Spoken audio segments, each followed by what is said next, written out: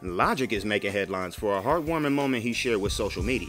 He posted a video of himself handing a drum kit to his two year old son Bobby in his first introduction to the art of producing. Logic instructs his son on which pads to hit, showing him the colors, and teaching him a little cadence and how to begin making magic with the caption, I'm teaching my son how to make beats. We're sure he already has an idea about what producing looks like as he's surely seen his dad at work in the lab doing what he does. Juicy J of Three 6 Mafia saw the video and jumped in the comment section writing, man that's dope. Tell Lil Bobby I need a beat for my new album. It's good to see fatherhood showing up in hip hop, and it looks like in Logic's case, the apple didn't fall too far from the tree. Can't wait for Bobby's first production.